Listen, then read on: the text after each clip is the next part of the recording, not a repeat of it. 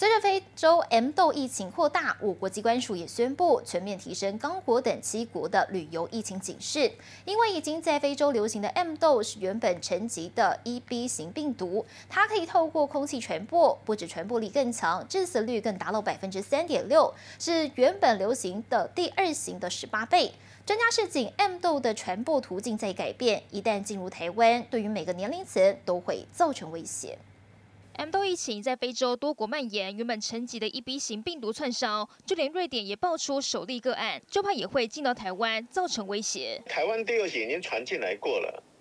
啊，所以代表这个病毒是可以传到台湾来。短距离的空气传染、飞沫传染，目前认为是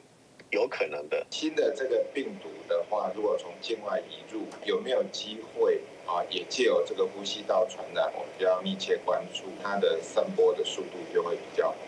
那也会感染到到比较多人。除了传播途径从以往的亲密接触变成可能透过空气或者是飞沫传染，传播力更高之外，在非洲引发流行的 M 豆型别一 B 型病毒致死率更是大飙升，是原本流行的二 B 型病毒的十八倍，而且感染者大半都是年轻成人还有儿童。对比过去的 M 豆疫情，除了一样会发烧，在胸部跟手脚上出现红疹，EB 型病毒的感染者症状还会更严重，也更容易出现肺炎、脑炎等并发症。身体的病毒量比较高，